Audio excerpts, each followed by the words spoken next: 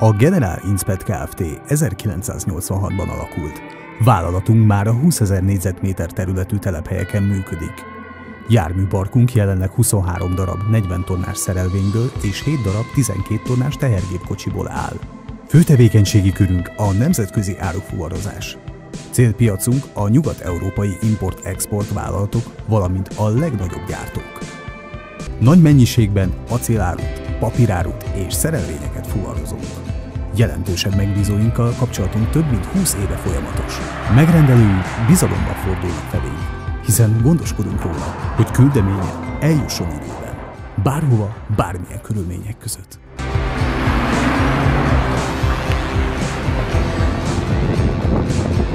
General International Transport. Úton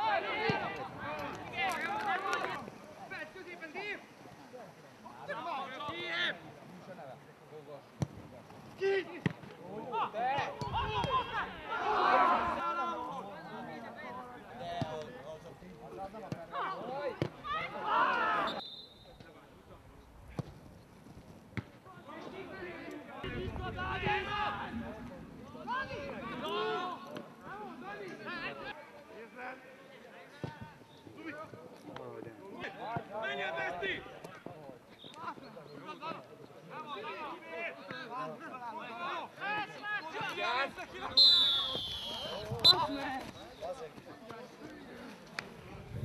Nem kell ezt ide menni, uram!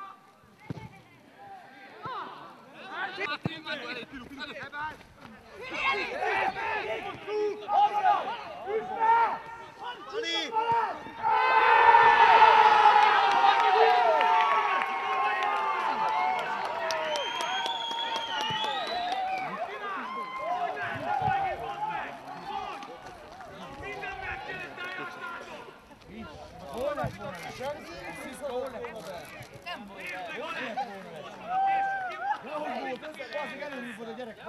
Minden értes fel! Minden egyes meccsen megcsinálják!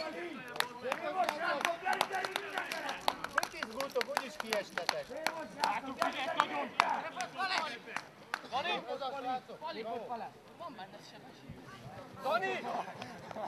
Ötön értek vissza! Kipattanul volt! De már tudsz alatni! Ti is ugyanezt csináljátok!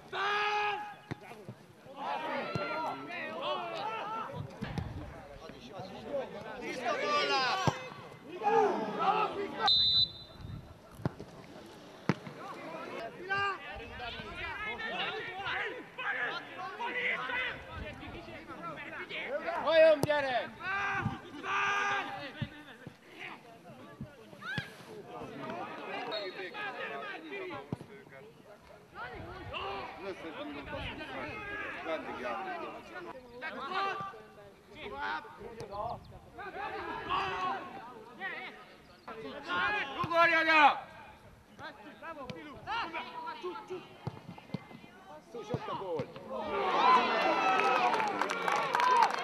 Ragazzi, beh!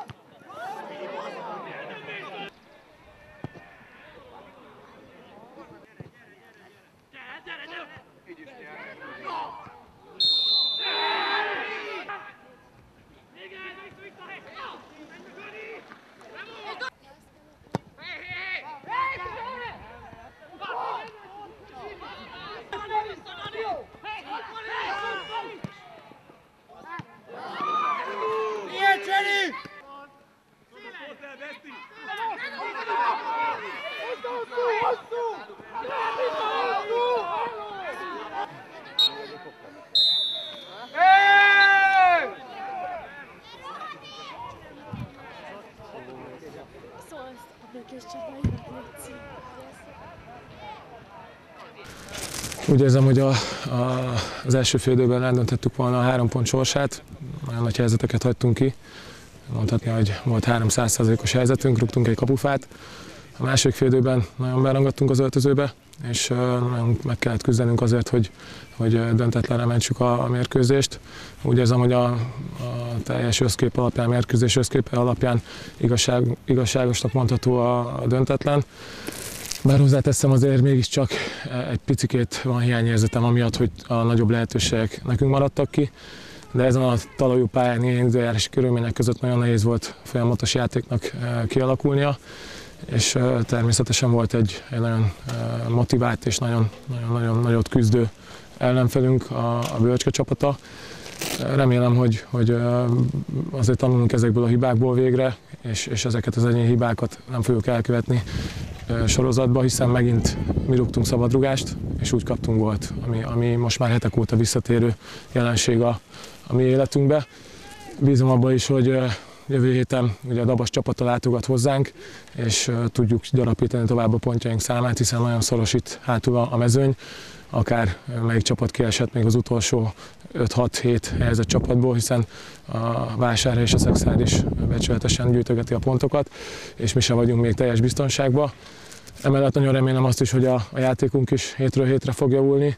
Annak viszont örülök, hogy azért vesztes állásból most ezt tudtuk hozni, ezt a mérkőzést legalább döntetlenre, és megszakadt egy olyan rossz szériánk, hogy, hogy sorozatban egy gólos vereségeket szenvedtünk idegenbe. csalódott vagyok ma egy picit, mert úgy gondolom, hogy a kezünkben volt a lehetőség, hogy győzzünk, és ezzel egy kicsit biztosabbá tegyük a, a végcélunkat. Mindig ezt a célt emlegetem, mert ha más nem lehet, most már itt van a bajnokságnak a vége, és nagyon szeretnénk mi hamarabb ezt dőlőre vinni, de úgy néz ki, hogy ezen a hétvégén sem jött össze.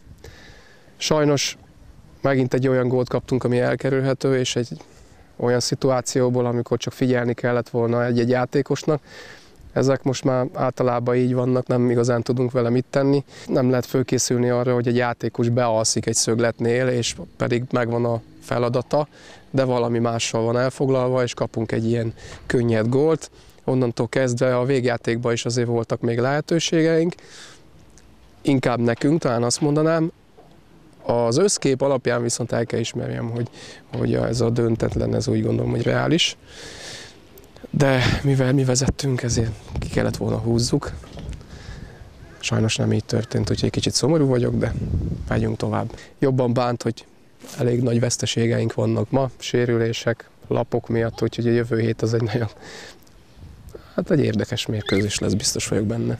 Jön a Honvéd második számú csapata, hasonló, hasonló mérkőzés lesz, mint a mai. Hát meglátjuk. Csak egy kicsit nehezebb, mert néhány olyan játékost elveszítettünk, akinek komoly szerepe van a csapatban.